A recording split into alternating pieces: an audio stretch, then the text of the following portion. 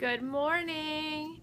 Sara here, and I want to talk to you today about my hack number three on how to de-stress. Um, like I said in the title here, it's not something I do every day. It's something I use on very, very bad days because we all have them and we all need that one way to just forget about it and let it go.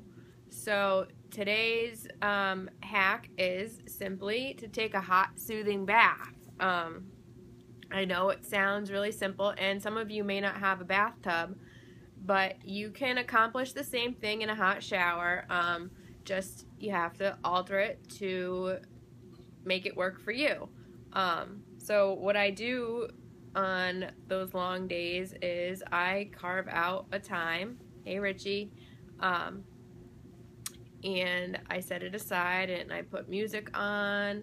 I light a candle, um, fill the bathtub, and I have um, new bath bombs that I got from my friend Manhand Crafters, who's um, you can link to her site in the comments. She makes homemade bombs. Um, I recently I've got a few of them, and I'm saving one to use on Sunday after my half marathon. Um, but I did want to try them before doing this live with you, and I used a cucumber melon one the other day, and I honestly still think it's like on my skin. I still think I smell like it. That's how good it is. Um, but you just drop it in the hot bath and you soak. You go up to about here. We don't want you to go any farther than like your get your shoulders under the water, but not too much farther. Um, we don't want you to drown because you get so relaxed. Because honestly, I've fallen asleep or at least dozed off um, just to because I'm so relaxed and I'm just letting everything go. Um, you, what else do you do?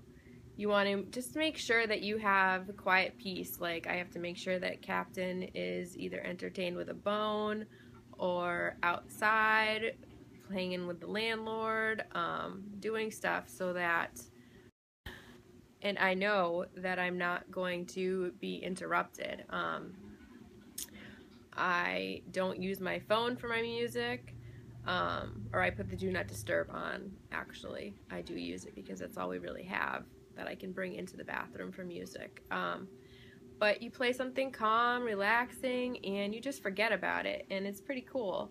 Um, got my notes over here, I'm sorry. Um, a lot of people like to sip on their favorite drink. Uh, that can, you know, calm you down and kill two birds with one stone. I know when I was a drinker, I used to bring a beer with me into the shower um, just because it was relaxing. It was my peace and quiet time, and I got to have a drink. So why not um, set up with your favorite glass of wine or um, water. You know, water is always good when you're relaxing. That's why they give it to you when you go for massages. Um, you got to keep your body hydrated, especially when you're actually sitting in the tub and the heat is, you know, soaking some hydration out of you. And you don't want to stay in too long. Um, about 30 to 35 minutes is usually enough.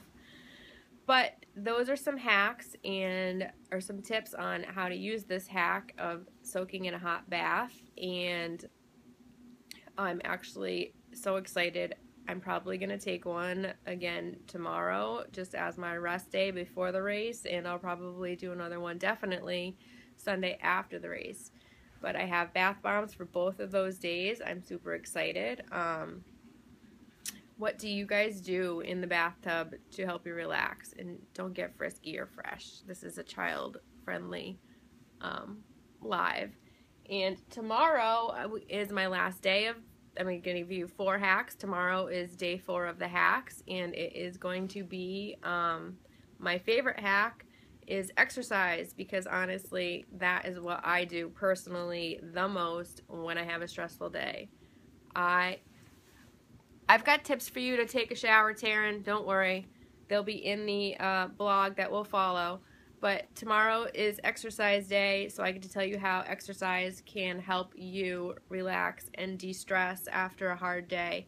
Um, I hope you will read today's blog and tune in tomorrow for my live on the final hack. I will talk to you then, guys. Have a great day.